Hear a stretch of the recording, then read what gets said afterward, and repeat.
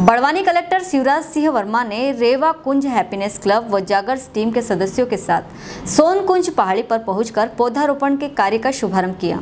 Happiness club के अध्यक्ष ओम शर्मा ने बताया कि विगत कुछ माह से हैप्पीनेस क्लब व जागर्स टीम के सदस्यों ने नगर के आसपास की पहाड़ियों पर सघन पौधारोपण कर उन्हें पुनः हरा भरा करने का अभियान शुरू किया है।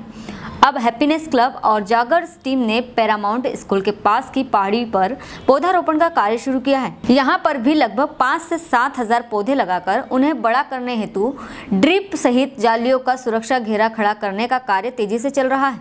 बड़वानी से अतुल कुमावत की रिपोर्ट। सोन कुंज रखा हुआ है अच्छा। और पाँच हेक्टर की पहाड़ी है और इस पूरी पहाड़ी पर आज जो रेवा कुंज हैप्पीनेस क्लब के लोग हैं जॉगर्स ग्रुप है और हमारे तहसीलदार सीईओ की पूरी टीम है। इन सभी के द्वारा मिलकर के पाँच हेक्टर ज़मीन में पौधारोपण का काम प्रारंभ किया हुआ है। लगभग आज डेढ़ से दो हज़ार पौधे लगाए हुए हैं।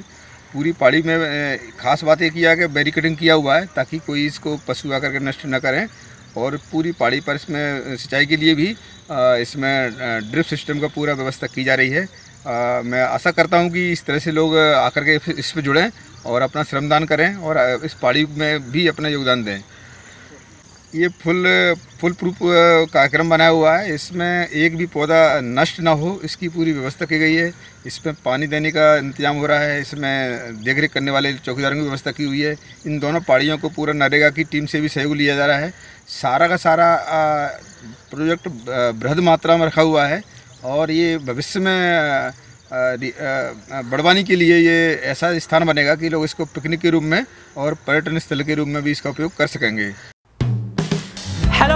आप देख रहे हैं हमारा channel S W twenty four news हमारे सारे वीडियो सबसे पहले देखने के लिए आप हमारे चैनल को सब्सक्राइब करें और पास में लगे बेल आइकन को दबाना बिल्कुल भी ना भूलें।